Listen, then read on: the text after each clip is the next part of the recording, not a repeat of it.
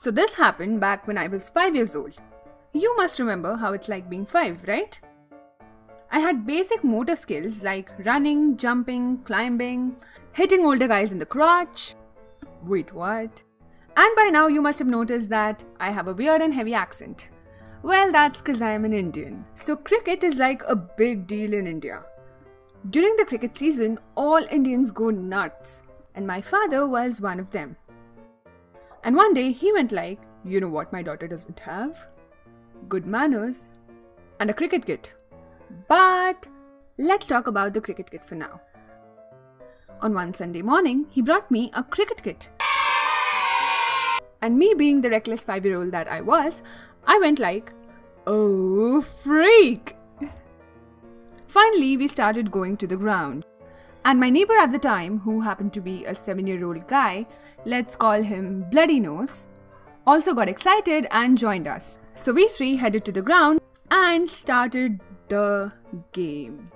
Bloody Nose took his position as the wicket keeper, who is supposed to stand right behind the batsman and the stumps. The batsman in this case was me.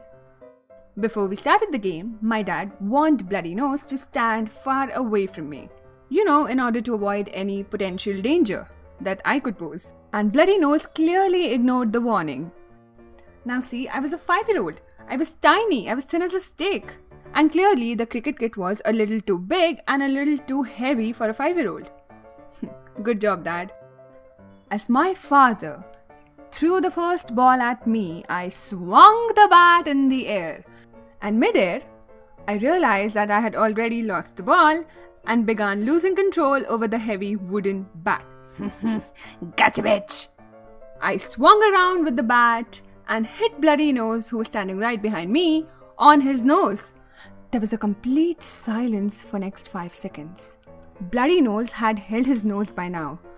After 5 seconds, he pierced the silence with a screech. My father rushed towards us, and then Bloody Nose removed his hand from his nose, and it was bleeding. I was so scared that I started crying and peed my pants. Oh, that trauma. My father held me in one of his arms and Bloody Nose on the other. He swung me inside the house, and while leaving, he told me, When I get back, I'm gonna whoop your ass.